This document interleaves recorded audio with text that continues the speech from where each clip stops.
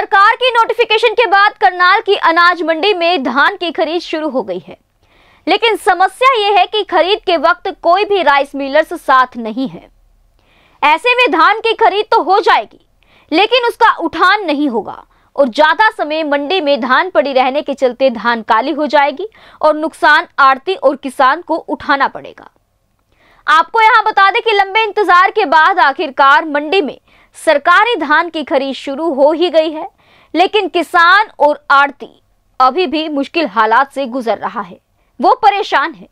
परेशानी इस बात की है कि अगर धान की खरीद सरकार ने कर भी ली तो इसे उठाएगा कौन?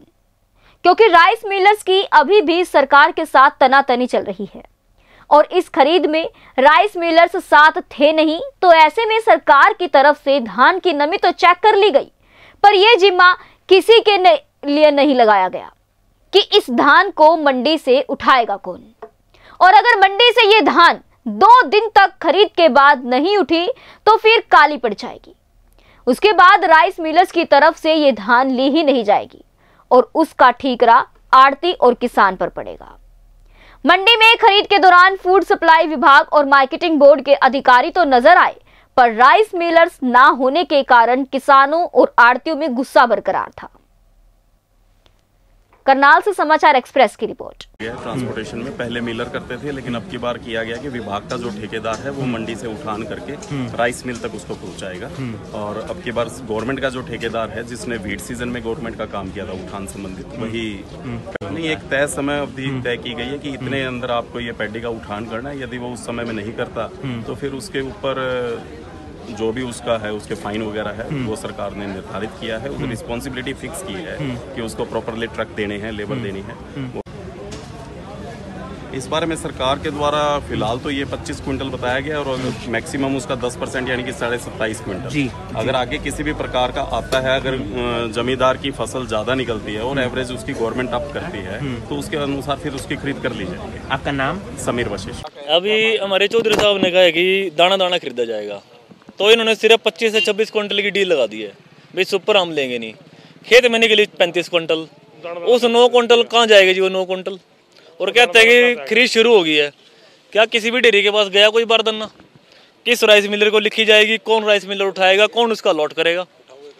अब ये जब तक लिखी नहीं गई आड़ती के पल्ले पड़ी रहेगी। इसमें पाँच पाँच दस दस क्विंटल लेकर होती रहेगी। फिर कहीं काट लो आड़ती है खाते में से। तो मतलब ये सारा जुल्म जो आड़ती के ऊपर है जी?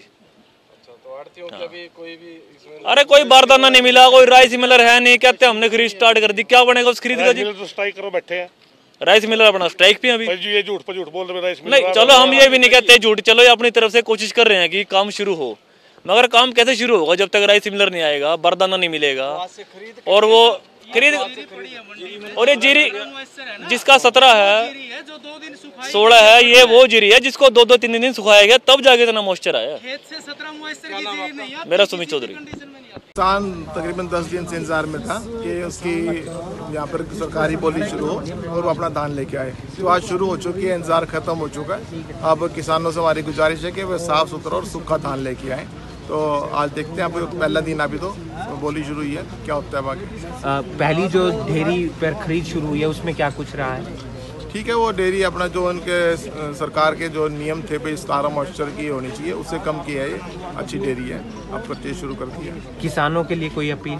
बस किसानों से तो ये अपील है कि जो अपनी फ़सल है साफ़ सुथरा सुखा के लेके आए ताकि यहाँ पे आने में कोई दिक्कत ना हो। जो किसान ऐसे ही लेटेस्ट खबरें पाने के लिए बेल आइकन को क्लिक कर हमारे चैनल को लाइक शेयर एंड सब्सक्राइब करें धन्यवाद JBD Banquets lie हैं incredible marriage palace Rajgharana and the finest banquet hall Jyoti Garden. World class catering, centrally air conditioned, lush green lawns, state of the art lighting. A perfect venue for wedding, launching and parties. Rajgharana and Jyoti Garden at JBD Banquets Enterprise.